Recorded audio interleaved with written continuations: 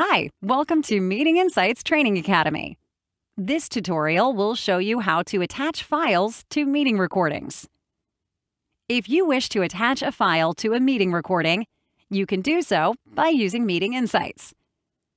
Click on the meeting that you would like to attach the file to, and click on the paperclip icon.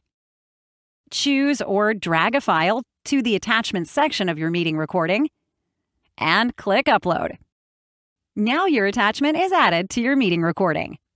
Thank you for watching Meeting Insights tutorial.